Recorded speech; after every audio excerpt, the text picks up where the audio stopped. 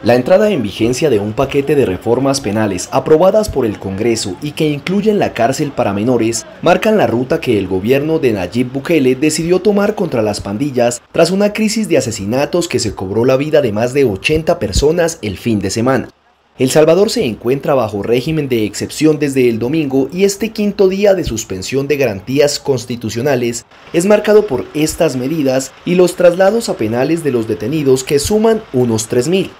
El gobierno ha declarado que estas acciones son una guerra contra las pandillas como lo hizo su antecesor Salvador Sánchez Serén. Las detenciones masivas y el endurecimiento de medidas penales contra las maras también fue aplicado por el expresidente Francisco Flores con su plan Mano Dura. Las ocho medidas fueron aprobadas sin estudio ni discusión parlamentaria y modifican normas como el Código Penal, la Ley Penal Juvenil, el Código Procesal Penal y la Ley Antiterrorismo.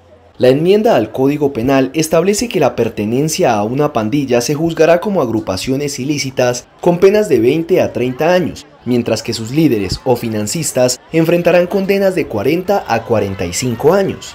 Hasta antes de esta reforma, los miembros de las maras enfrentaban penas de entre 3 y 5 años de cárcel y cabecillas de 6 a 9 años. El Congreso de mayoría oficialista también aprobó una enmienda a la Ley Penal Juvenil que establece penas de prisión para los menores de edad a partir de los 12 años. Anteriormente, la medida más excepcional era el internamiento. Los adolescentes desde los 12 años que de acuerdo al gobierno serían juzgados como adultos podrán recibir penas de hasta 10 años de cárcel, mientras que los que tengan cumplidos 16 años serían condenados a hasta por 20 años.